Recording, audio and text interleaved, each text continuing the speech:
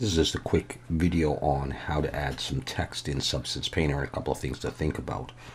I'm going to create a plane here to do this, rotate X90, and I'm going to duplicate it.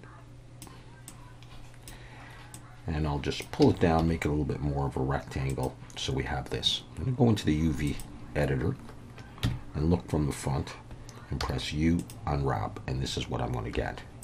I'm going to select this one here at the top and let's see if we can figure out which one it is. It's this one here on the left. So let's move that down to make it a little bit easier here.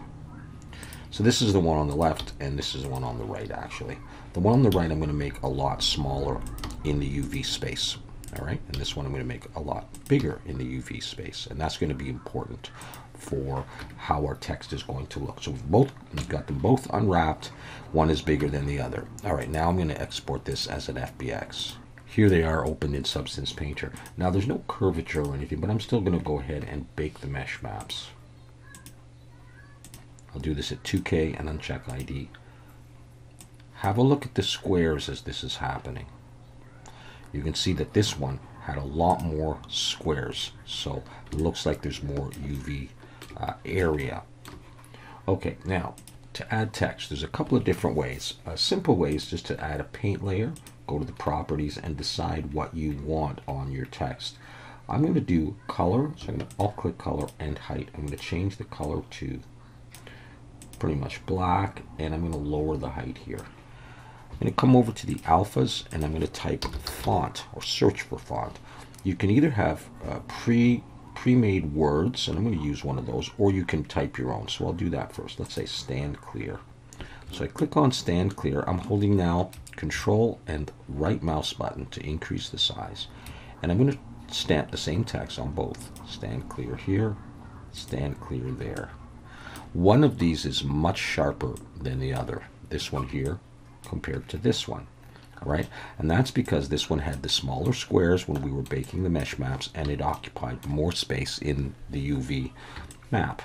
All right, so if you're finding your text is a little bit blurry on your models, that could be why there's not enough UV, um, you know, UV area, UV space. Now, we can come up here and we can change this from 1024 to 2048, and that will improve this text, and that can be a workaround, and of course it'll improve that even more. So I'll leave it on there. All right, so we can do text this way, but you can't come back now and make any changes. All right, so I'll get rid of that. Another way is to add a fill layer. I'm going to add a black mask, and then here I'm going to have color and height. I'll make this black, decrease this, and on the black mask, I'll do the same thing. One, two, all right, I'm going to bring this back down to 1024 just so that we can again see the blurry versus the clear. The difference now is though, because this was a fill layer, I can come back to the main layer and I can change something like color. Now if I do that, again notice how nice and red this is. This one is a little broken up. So let's try the 2048. And that definitely improves it. All right.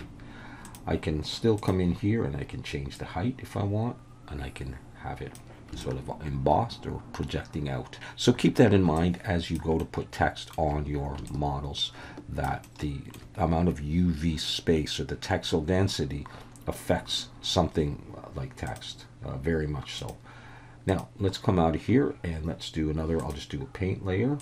Come to the properties, I'll use, I'll use this and let's create our own text. So now you can choose from the installed fonts. There is a way to bring in fonts. I'm not going to cover that right now.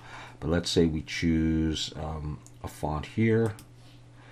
All right, and then you come down to here, parameters text, and you can type uh, whatever you want, my own text.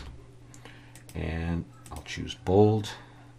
And if the text goes like that, then what I tend to do is lower the size here and then increase the size here. My own text, my own text. All right, so you can type your own text using the installed fonts, or you can bring in text here uh, that's already pre-made. That's two ways to do text on your models.